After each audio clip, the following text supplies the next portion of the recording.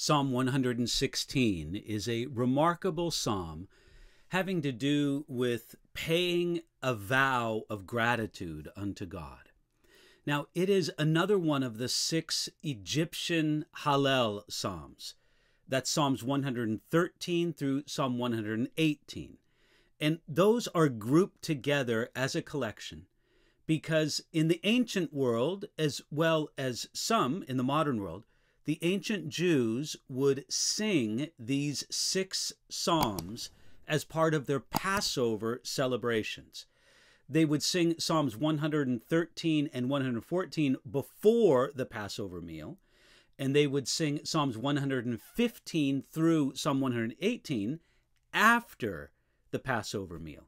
And again, this was done since ancient times and so we have reason to believe that it would have been the common practice in Jesus' day. Now, we understand this that when Jesus celebrated the Last Supper with his disciples, that was the night that Judas betrayed him to the religious officials and their police force.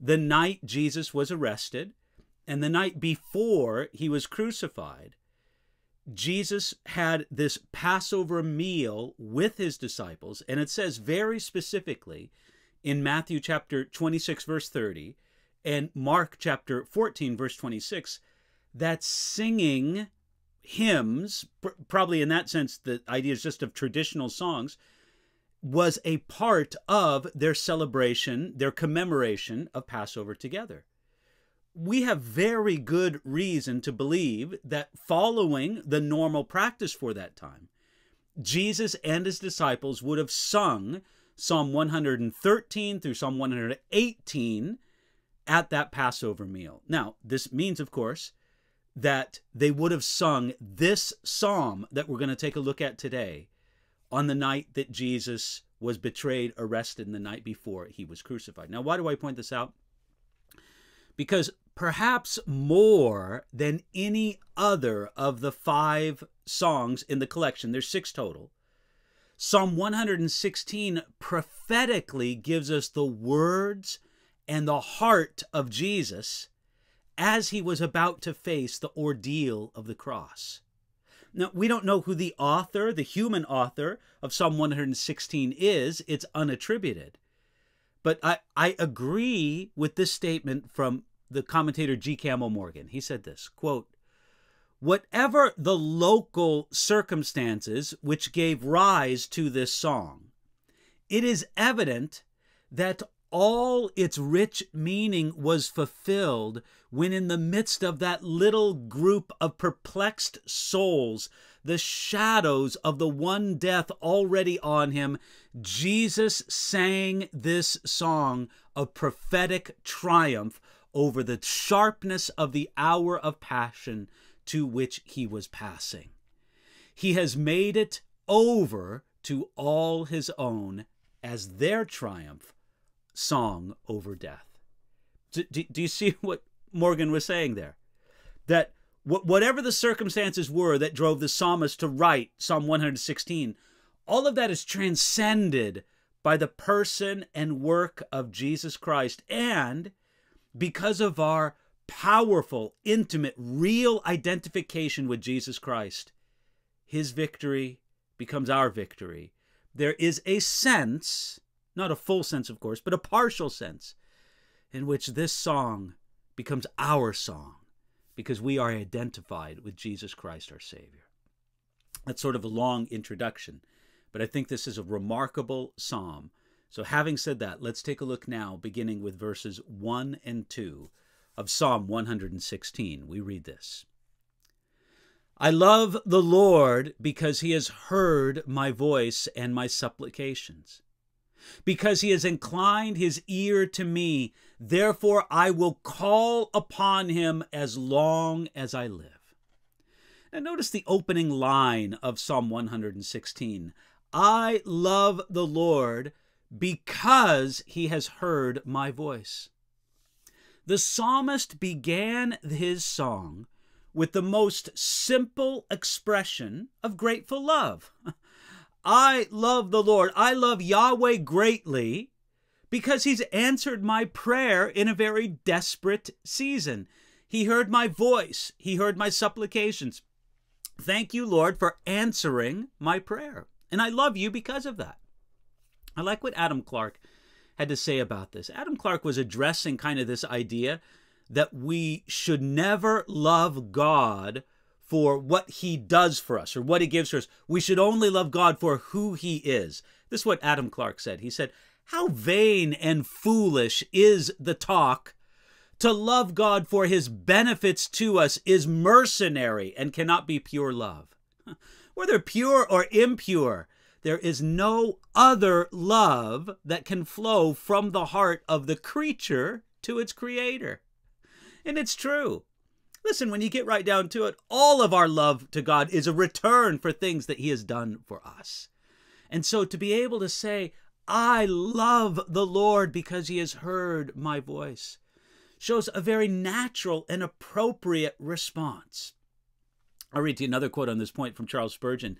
He said, quote this, They say that love is blind, but when we love God, our affection has its eyes open and can sustain itself with the most rigid logic. We have reason, superabundant reason, for loving the Lord. Indeed, we do. He's heard my voice. I called out to him and he answered. Therefore, look at verse 2 I will call upon him as long as I live. The singer vowed to never call upon any other supposed deity his allegiance, his love, his prayer would always be to the one who inclined his ear to me, inclined his ear to the psalmist, of course, and to us as well. We say, Lord, you've been so good to me. You are my God forevermore. Now, verses 3 and 4. The pains of death surrounded me, and the pangs of Sheol laid hold of me. I found trouble and sorrow. Then I called upon the name of the Lord. O Lord, I implore you, deliver my soul. You see, in the painful grip of death, that's communicated by the words in verse 3 the pains of death surrounded me. In that painful grip of death, the psalmist knew nothing but trouble and sorrow. This death crisis could have come from many sources. It could have come from sickness, it could have come from injury, it could have come from persecution, but he felt that death was very nearby. Now, interestingly, many centuries later, the Apostle Peter used that phrase, the pains of death, to describe the peril from which God the Father delivered Jesus Christ through his resurrection. Uh, you'll find that in Acts chapter 2, verse 24. He says something effective that it was not possible that he should be held by the pains of death. You see, this adds a powerful prophetic and messianic meaning to this psalm. And again, we remind ourselves this was one of the Psalms that Jesus would have sung with his disciples at the Last Supper. You see, understand here, where we read in verse 3, the pains of death, the Hebrew word that's translated pains can also be understood as the ropes or the cords of death. The ropes or the cords of death surrounded me, but you, Lord, you delivered my soul.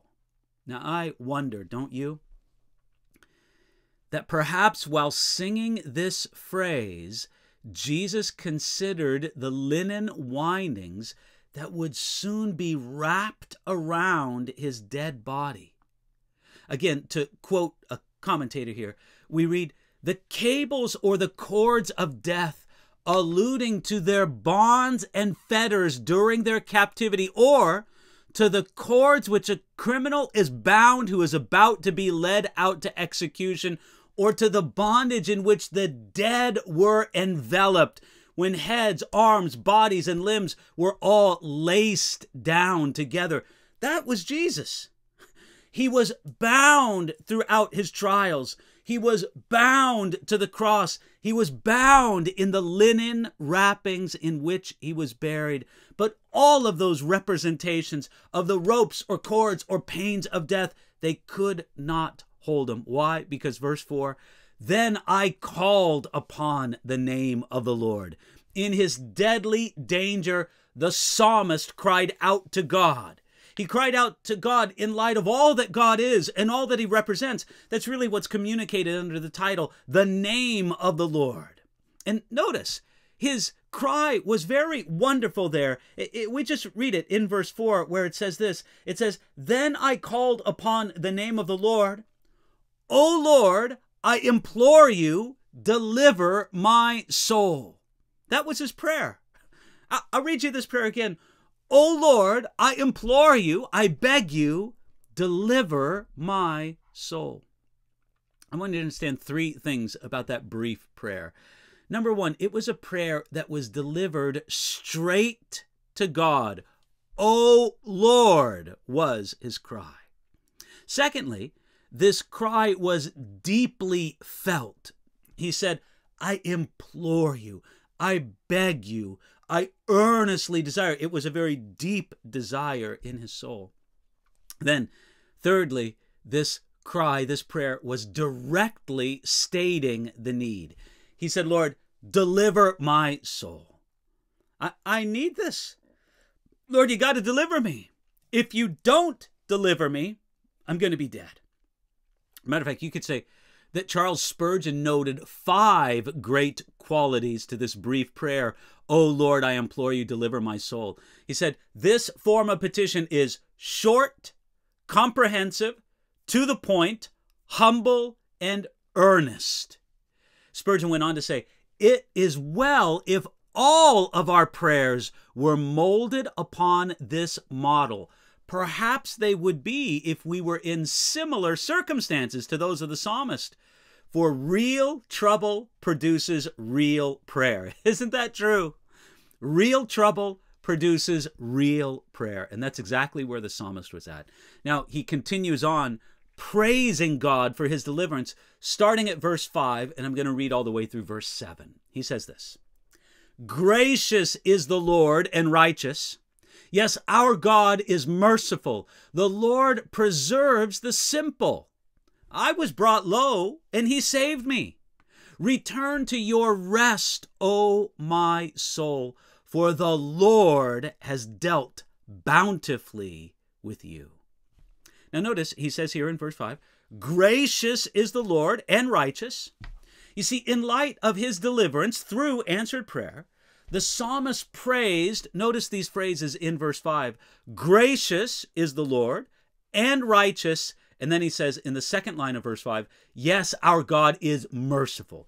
He praised the gracious, righteous, and merciful character of God. Now, again, I want to transport your mind from the psalmist, the author of Psalm 116, composing and singing this song in whatever his circumstances were.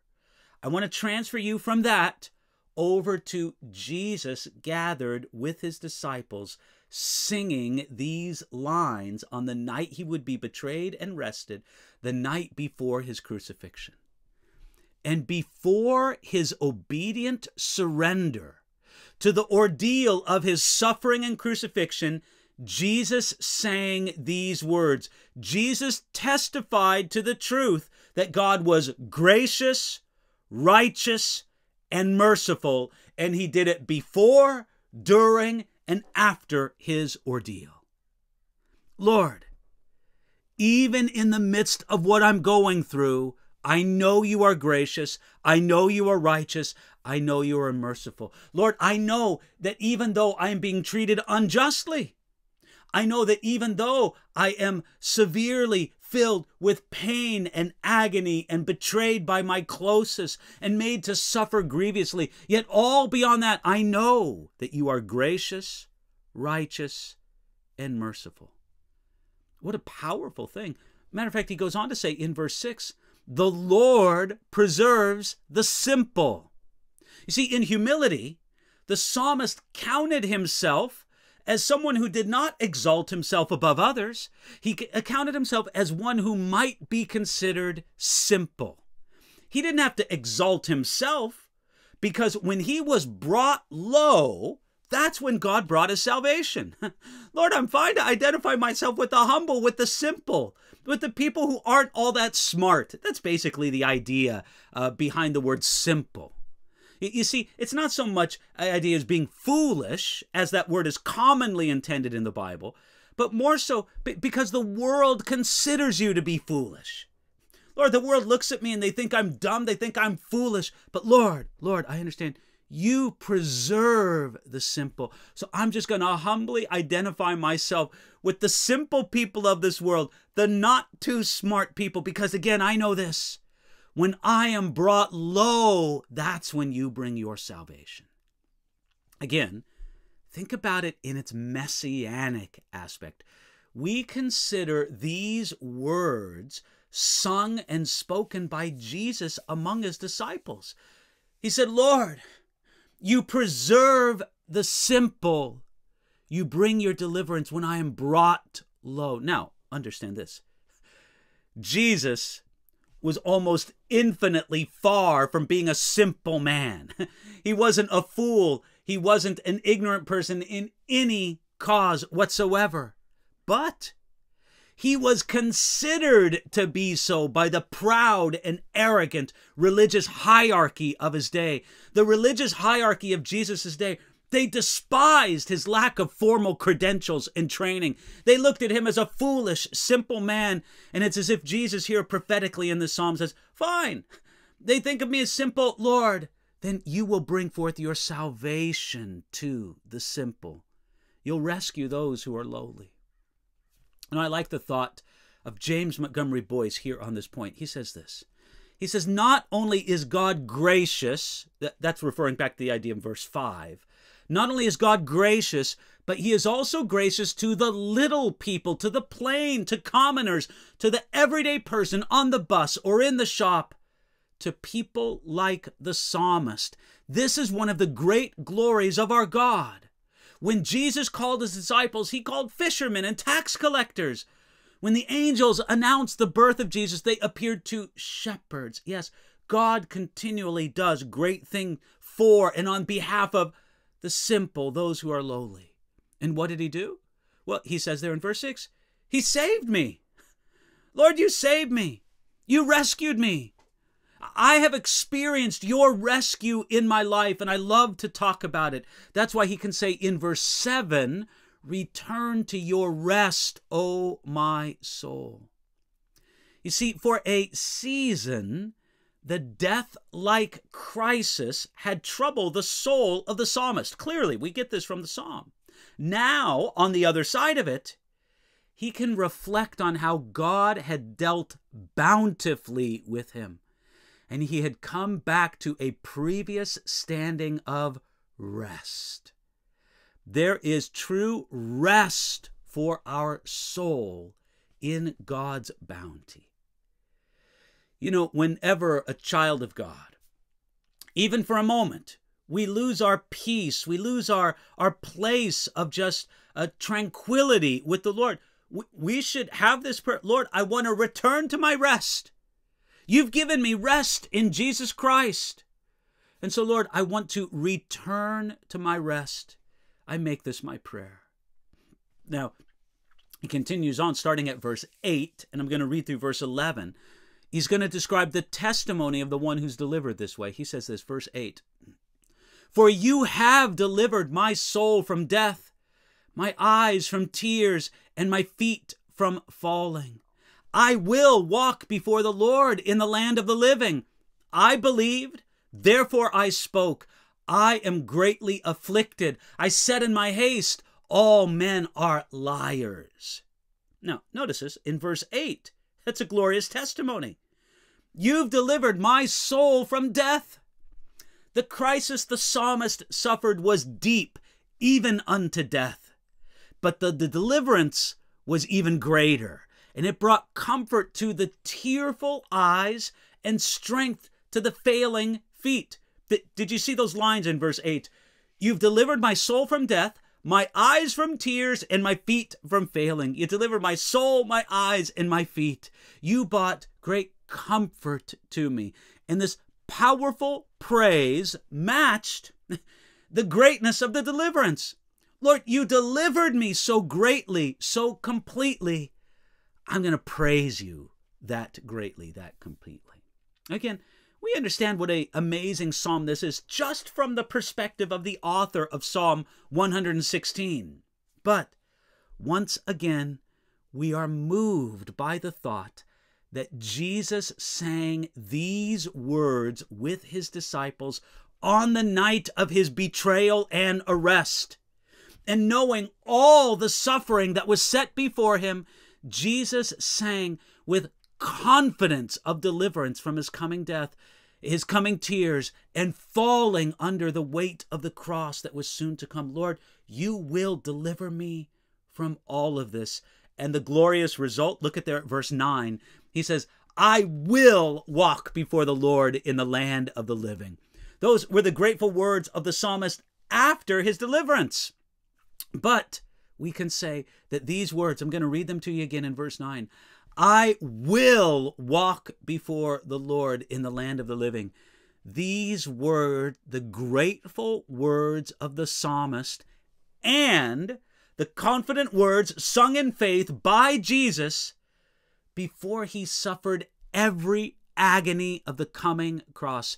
Jesus could go to the cross with full confidence that having been rescued from his failing feet, he would once again walk in the land of the living. Lord, I know you will raise me from the dead. I will walk before the Lord in the land of the living. That's why he says in verse 10, I believed, therefore I spoke. Full of faith, the psalmist trusted God in the depth of his distress. His was a shadowy preview of the greatest faith. Yes, did the psalmist believe he did, but it was not matched. It was far exceeded by the faith that Jesus demonstrated among his disciples before the cross.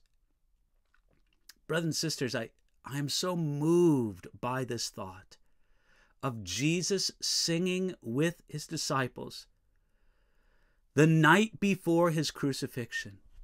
And he says, I will walk before the Lord in the land of the living. In other words, I will suffer unto death, but I will be resurrected. And then, full of confidence, saying in verse 10, I believed, therefore I spoke. My faith is full of assurance. Now, what's interesting in addition to all this, yes, these were the words of the psalmist. Yes, these words were sung full of faith by Jesus the night before his crucifixion. But the Apostle Paul also took this line, I believed, therefore I spoke, and he applied the principle to his own times of trusting God and speaking from the experience of that trust, even in very difficult times. You can find that in 2 Corinthians chapter 4, verses 13 and 14. However, even though he was filled with greater confidence in God, the bitter experience of the psalmist made him consider look at verse 11 all men are liars. Now, he really came to the conclusion that that was a hasty conclusion that he reached in the midst of his difficulty. We see as well Jesus though he was forsaken by all his disciples, all of his partners in song as they sang together these hymns, according to the New Testament, at the Last Supper, Jesus would not come to that same hasty conclusion that the psalmist did. He says in verse 11, I said in my haste, all men are liars. I said it too quickly. Jesus held back from saying that, even though he had reason to say it. It's interesting. The psalmist seems to have regretted that he said all men are liars, but there's at least one way in which the statement is true. I mean, every person will prove to be a liar if you put too much trust in them. If you put too much trust in another person, they're going to let you down. Some people are this way just because they're not capable of keeping every promise. Other people because they don't intend to keep every promise. But either way you put it, If we put too much trust in a person, they will always let us down. Now, the phrasing of this makes it clear that the psalmist understood that he was wrong at this time in saying so. His judgment was too harsh in his present circumstances. That was something that he said in his haste. Yet he understood that at the moment that's how he felt. Continuing on, verse 12, I would say, begins a second part of this psalm He's going to talk more now about gratitude starting at verse 12. So let's take a look at the three verses beginning at verse 12, verses 12 through 14, where he's going to express his thanksgiving. Look here, starting at verse 12.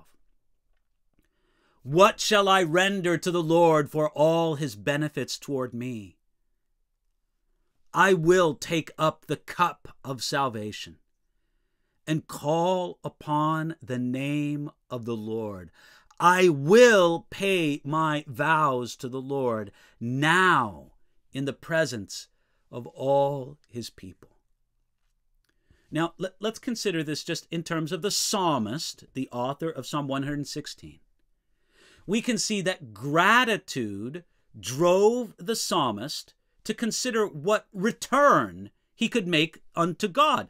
God had so generously shared his benefits making the psalmist grateful and wanting to give something back. He, he was something like the one grateful leper among the ten that Jesus healed, as recorded in Luke chapter 17.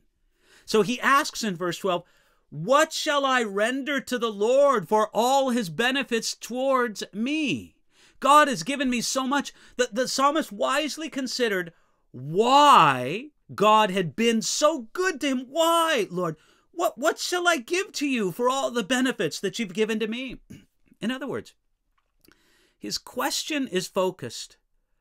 Why has God been so good to me instead of, why have I had any problems?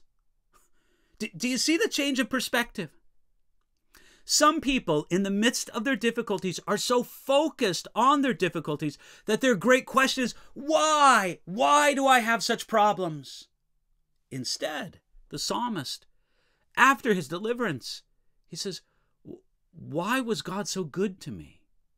You see, the psalmist understood that problems are common to all men, but the benefits of God's blessing often only belong to those who trust God.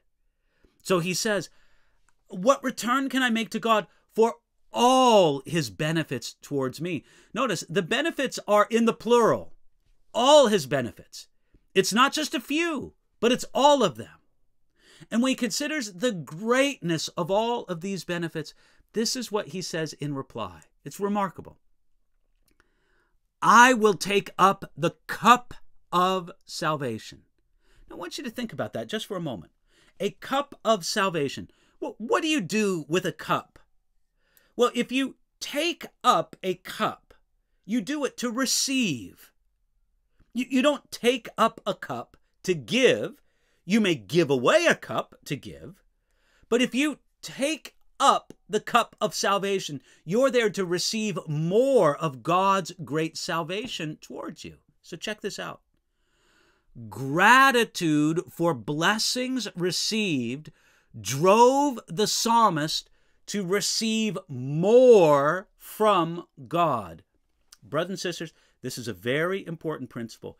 Before we can do anything for God, we always begin by gratefully receiving. Now, look, I believe that we should do things for the Lord.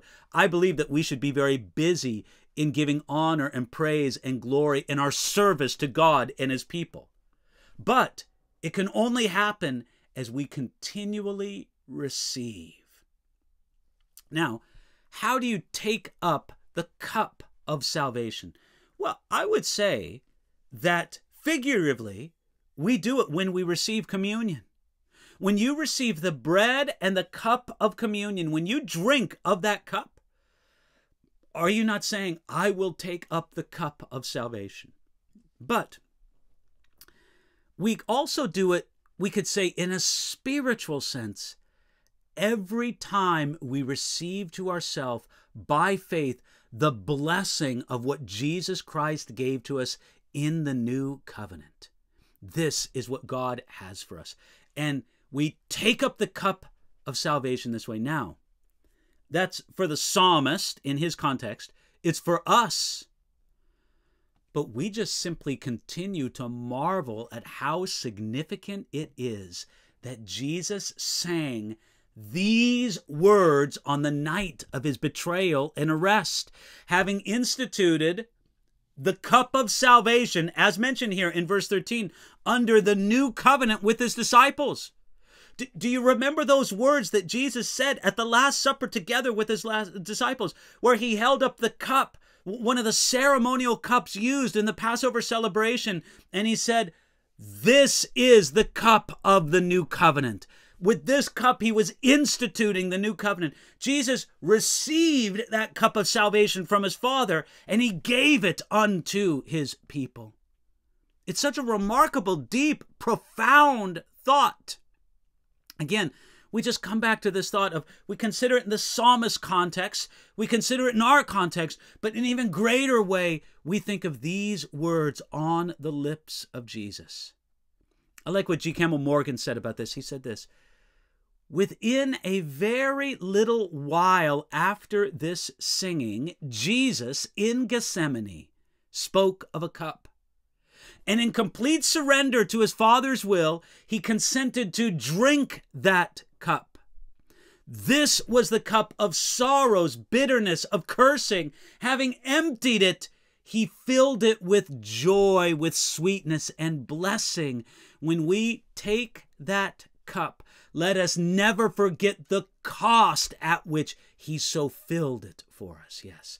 Jesus sang these words I will take the cup of salvation. Verse 14, continuing on here in Psalm 116 I will pay my vows to the Lord now in the presence of all his people. The singer publicly declared perhaps in a sacrificial ritual of gratitude at the temple's altar, maybe. He publicly declared God's greatness and faithfulness. He would complete what he had determined to do before God. Hereby, Lord, with what I do right now, I will pay my vows to the Lord now in the presence of all his people. And again, I can't get away from it. How moving it was for Jesus to sing these words when he himself was about to become the sacrifice. Do you understand that Jesus not only made a sacrifice, he was the sacrifice. And in that, he was the absolute fulfillment of the payment of the vow in the presence of God's people.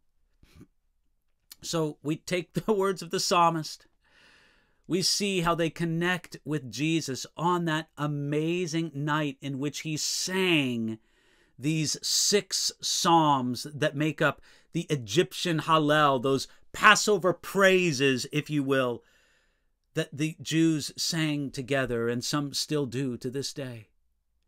But we also apply these words to ourselves as believers today. Uh, Charles Spurgeon noted something that John Foxe, that author of Foxe's Book of Martyrs, wrote. He said this Foxe, in his Acts and Monuments, relates the following concerning the martyr John Philpot. He went with the sheriffs to the place of execution. Coming to Smithfield, he kneeled down there and saying these words I will pay my vows in thee, O. Smithfield. You see, that English martyr, John Philpot, he had vowed that he would serve the Lord. He had vowed that if necessary, he would lay down his life in martyrdom.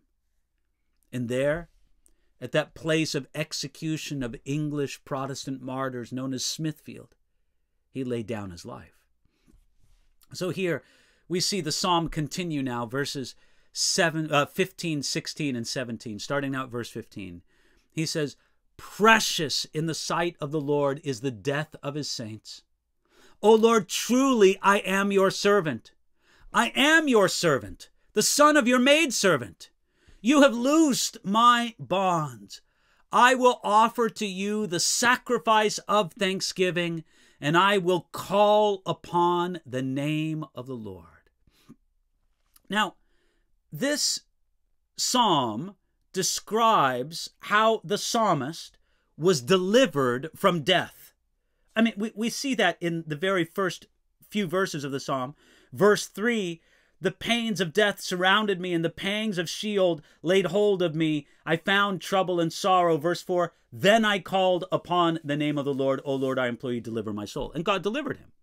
So the psalm celebrates deliverance from death. But the singer of Psalm 116 knew that death was still a reality for every one of God's saints. Therefore, he says, Precious in the sight of the Lord is the death of his saints. We, we might put it like this Death before our time is a crime that we pray to be delivered from.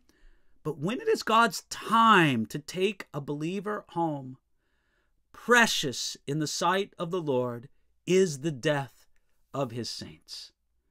When that day comes, God holds the death of every one of his people as a very precious thing.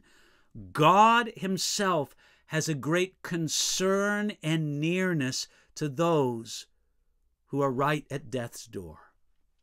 James Montgomery Boice said it like this. He said this quote, God is particularly close to his people when they stand at death's door. God watches over his people when they are sick or dying, coming close to them and making his presence known so that they have comfort in death's hour. He also frequently intervenes and does not allow them to perish. In either case, the Lord does what is best.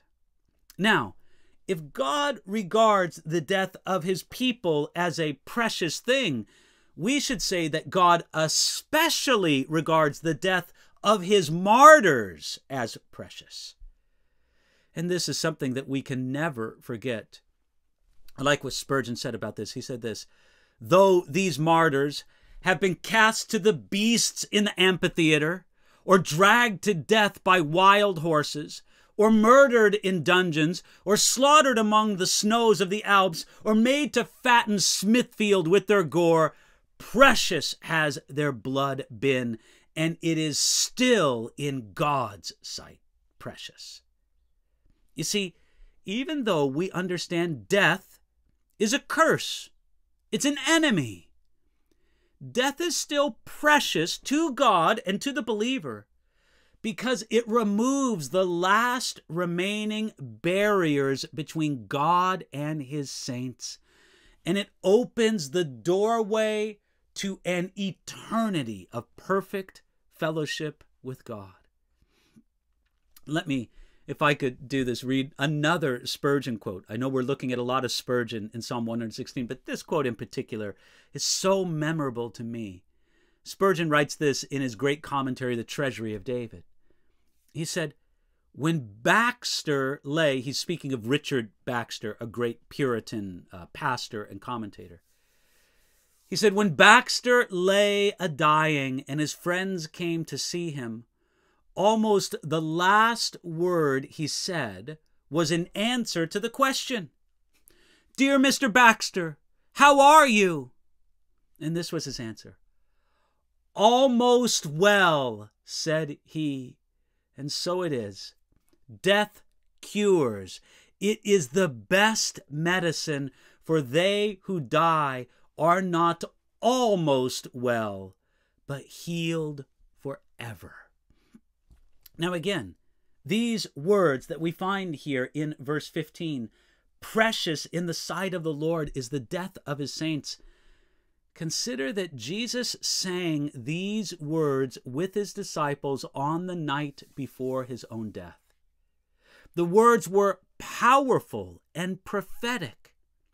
Jesus was the ultimate saint, holy one, and his death was and is precious beyond all reckoning. Verse 16 continues, O Lord, truly I am your servant.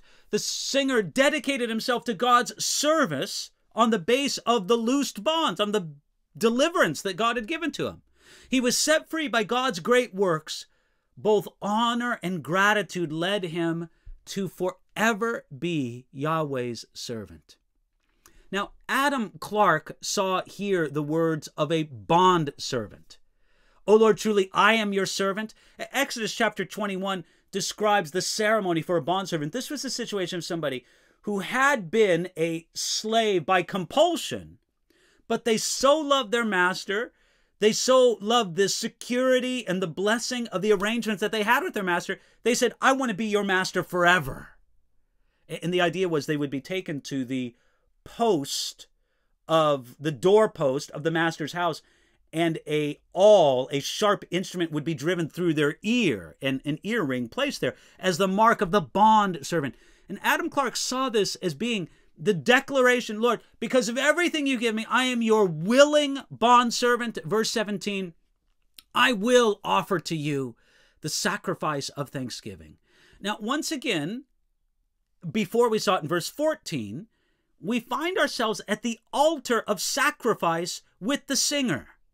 He was happy and he was duty bound to proclaim his gratitude to God and to call upon him alone.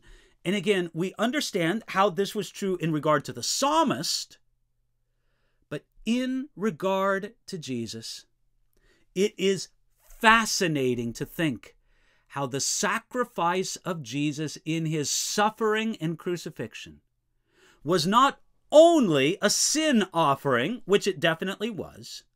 In addition, it can also be understood as a sacrifice of thanksgiving. Jesus went to the cross thankful, thankful for the Father's goodness, thankful for the Father's strength, thankful for the Father's blessing. Jesus did his work at the cross gratefully. Now we conclude the psalm with the last two verses, verses 18 and 19. We read this in Psalm 116, verse 18. I will pay my vows to the Lord now in the presence of all his people, in the courts of the Lord's house, in the midst of you, O Jerusalem. Praise the Lord. Now, Verse 18 begins with the repetition of a phrase we saw earlier in verse 14. What's that phrase? I will pay my vows to the Lord. And we could say that this keeps us at the altar of sacrifice with some kind of public sacrifice of thanksgiving. There, as he says here, notice, in the courts of the Lord's house. That's in verse 19 the psalmist would proclaim his praise and his gratitude towards God. And he would do it now in the presence of all his people. You see, the um, agony he went through, he had to go through it all alone. Everybody had forsaken him, but the victory that he enjoys, he proclaims it to everybody. I like what Alexander Maclaren had to say this. He said, Grief is a hermit, but joy is sociable. And thankfulness desires listeners to its praise. So he suffered his grief alone, but his joy was proclaimed. And it's proclaimed even with the last line of the psalm where he says, Hallelujah, or as we read it in translated into English, praise the Lord. The psalm ends with Hallelujah, both as a declaration of personal praise, but it's also a call to all of God's people to join with the proclamation. It's as if he says, let's say it together. Hallelujah. Now, as we come here to the end of Psalm 116, we genuinely do praise the Lord, just like it tells us to do in the last line. And we do so because, in so many ways, this is a powerful psalm pointing to Jesus, and it is especially meaningful as he almost certainly sang this song with his disciples on the night before his crucifixion. At the end of our Psalms, as we make our way through the Psalms in these teachings, we've been considering at the end of each psalm how does this psalm point to Jesus?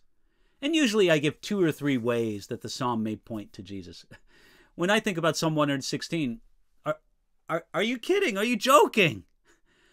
The entire psalm speaks so powerfully of Jesus. Let me just read to you many lines from Psalm 116.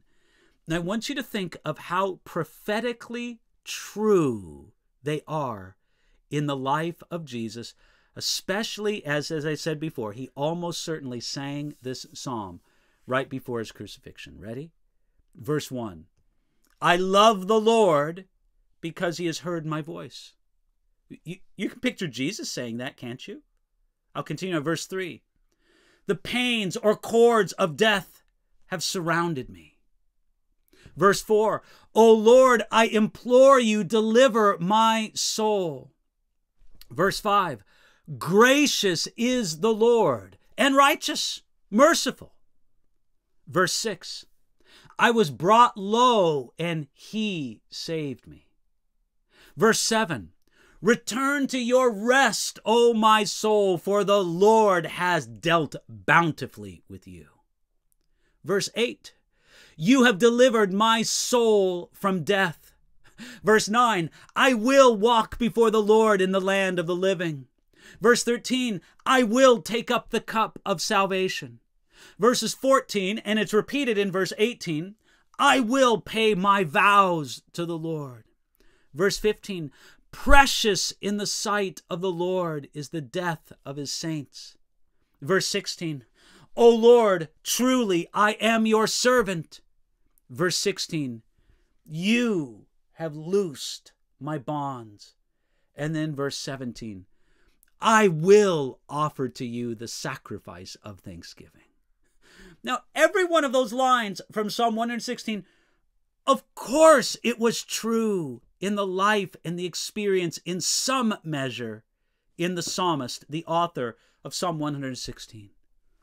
But is not each one of those lines that I read to you perfectly fulfilled in the person and work of Jesus Christ, especially his work on the cross? And how meaningful, how meaningful that he spoke and sang and prayed these words on the night of his betrayal and arrest, the night before his crucifixion. Let's pray and thank the Lord for this. Lord, when we read such a beautiful, such a powerful, and such an amazingly prophetic psalm, our hearts are moved. And all we can do is respond with the thought we see in verse 13 I will take up the cup of salvation. Lord, thank you. Thank you for all you have done to rescue us, to deliver us. Lord, you have called us unto yourself, and you did it all through the person and work of Jesus Christ. And so, Lord, even though there is much we want to do for you, it begins with us simply receiving from this great cup of salvation that you so graciously offer to us. And we do that, Lord, thankful before you in the wonderful name of Jesus. Amen.